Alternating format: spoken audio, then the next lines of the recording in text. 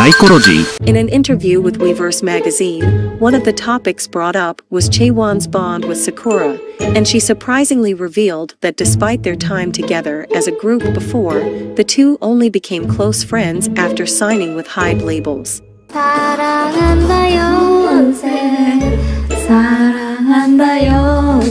She commented on how it was difficult to get close to her because IZ*ONE was a 12 member group, but she's very happy that they've gotten much closer now.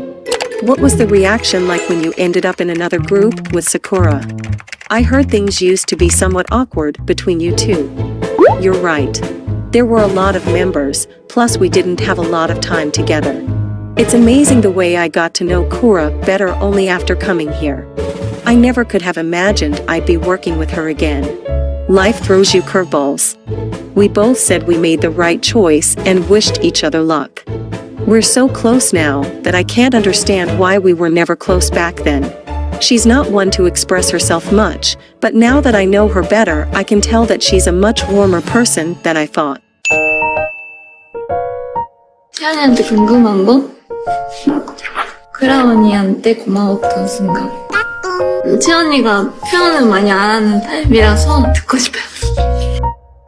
2022년 가장 꾸라 언니한테 고마웠던 순, 순간. 제가 리더다 보니까 먼저 이렇게 나서서 하는 행동이 있을 때 그거를 만 언니로서 이렇게 묵묵히 지켜봐주고 잘한다 잘한다 해주고 고마웠어요. 그리고 되게 언니가 츤데레여가지고 사소한 거 하나하나 엄청 표현을 잘 못하는데 근데 하는 행동에서 아 이 사람은 따뜻하구나라고 느껴지는 게 있어서 츤데레? 츤데레? 츤데레!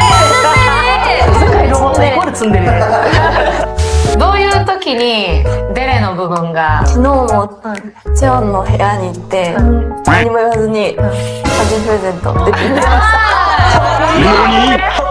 した しいキャリソールを知ってくれました、えー。